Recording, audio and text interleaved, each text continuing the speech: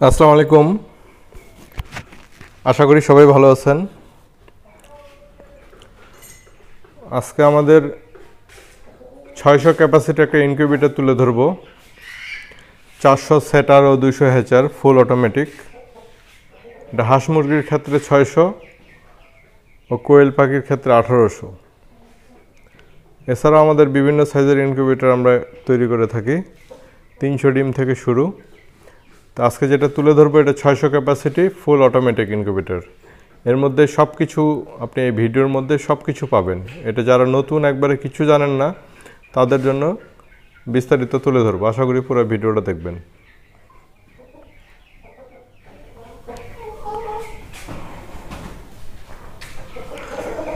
এটা হচ্ছে আমাদের ছয়শো ক্যাপাসিটি ইনকিউবেটর এটা সম্পূর্ণ অটোমেটিক ওয়াটার সাপ্লাই হতে শুরু করে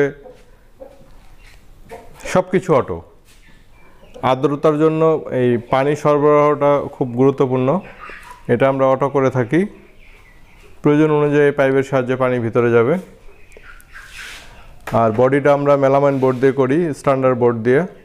অনেক উন্নত মানের বোর্ড এবং চতুর্দিকে আমরা থাইঙ্গেল কাভার করি।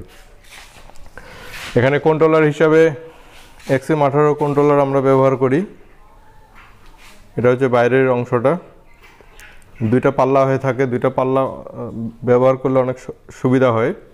এক পাল্লা অনেকেই করে, এক পাল্লা করলে পাল্লা বাঁকা হয়ে যাওয়ার চান্স থাকে। তো আমরা এখন লাইন দেব। আমরা লাইন দিলাম। এটা হচ্ছে কন্ট্রোলার এই কন্ট্রোলারটাই পুরো মেশিনটা পরিচালনা করবে।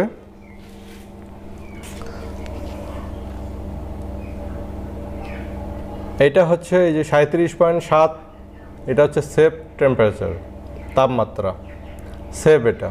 আর উপরে যে তিরিশ পয়েন্ট পাঁচ দেখা যাচ্ছে, এটা বর্তমান তাপ। এই পাশে ষাট এটা হচ্ছে সেফ আর্দ্রতা। বাষট্টি, এটা বর্তমান আর্দ্রতা। অর্থাৎ ডিম যত, যতদিন এই উপরে থাকবে, এই সেটার ট্রেতে যতদিন ঘুরবে, তত, ততদিন আমরা আর্দ্রতা সেভ রাখব ষাট আর বর্তমানটা কত আছে খেয়াল করব। গরমকালে আর্দ্রতা এমনি বেশি থাকে, ষাট প্লাস থাকে, সত্তর, পঁচাত্তর এমনি থাকে। তখন আমরা পানিটা ব্যবহার করব না, পানি দেব না। পানির কাজ হচ্ছে আর্দ্রতা তৈরি করে। এই সেটার ট্রে থেকে যখন আমরা হ্যাচিংয়ে দিব, নিচে দিব, নিচে হ্যাচিংয়ে দিব, এই হ্যাচার ট্রেতে দিব, তখন আর্দ্রতা হচ্ছে আমরা পঁচাত্তর করব। এই হ্যাচার ট্রেতে দিব। এটা কীভাবে সেট করবেন আমি এটা দেখাই দেব। তবে আগে দেখাই আর্দ্রতা কীভাবে বাড়াবেন। মনে করছেন আপনি যে কোনো ডিম, হাঁসের ডিম উপরে থাকবে পঁচিশ দিন। পঁচিশ দিন পরে এই হ্যাচার ট্রেতে ডিমটা বিছায় রাখতে হবে শোয়া রাখতে হবে। মুরগির ডিম উপরে থাকবে আঠারো দিন। আঠারো দিন পরে এই হ্যাচার ট্রেতে শোয়া রাখতে হবে। অবশ্যই ডিমগুলো চেক করে নেবেন লাইট দিয়ে।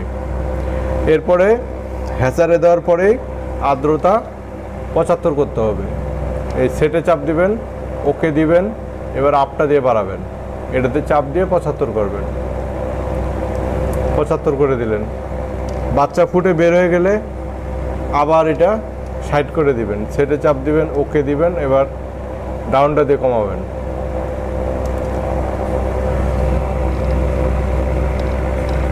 এরপরে এই টেরেটা যদি ঘোরানোর প্রয়োজন হয়, এটা যে কোনো একদিকে হালানো থাকবে। এখন মিডিলের দিকে আছে। তখন ডিম দেওয়ার সময় অথবা বের করানোর সময় এটা সোজা করে নেবেন। এই যে আপ বাটনটা প্রেস করলে এটা ঘুরবে। এই যে নিচে নামতেছে। আবার ছেড়ে দিয়ে প্রেস করলে উপরে যাবে। অর্থাৎ একটা বাটন দিয়ে দুই দিকে ঘুরে।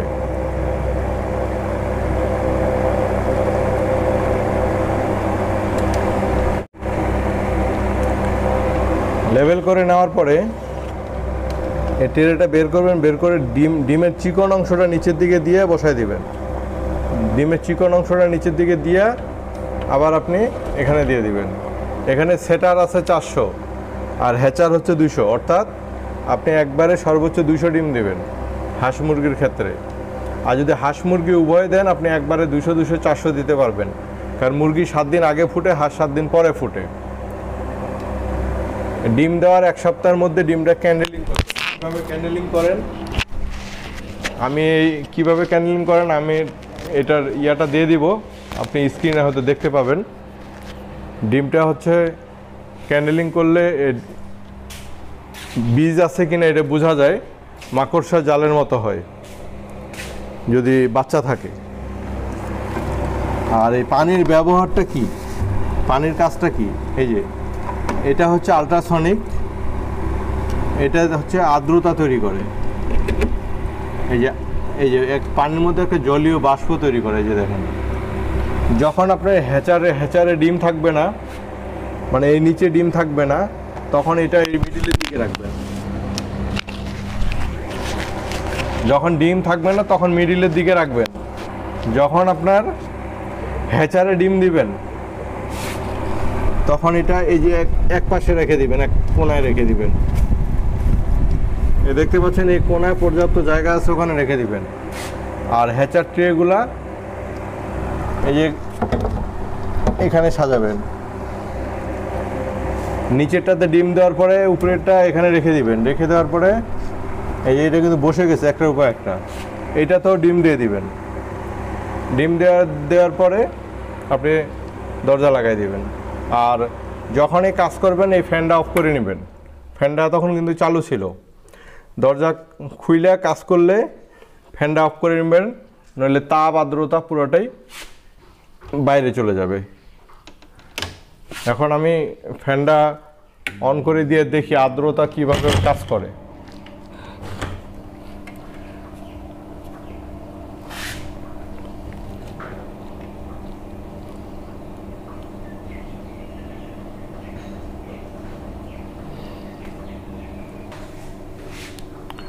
প্রথম দিকে আর্দ্রতা উঠতে একটু সময় লাগবে। অর্থাৎ এখানে আমি সাইড সেভ করছি, এখানে সাইড আসলে অফ হয়ে যাবে ওই জিনিসটা, ভিতরে যে পানির মধ্যে জিনিসটা আছে। আর এরপরে এটা পঞ্চান্নে আসলে আবার চালু হবে। তা আশা করি বুঝতে পারছেন।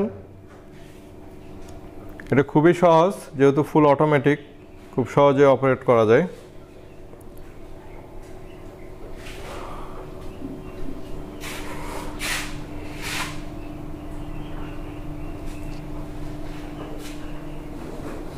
আসসালামু আলাইকুম।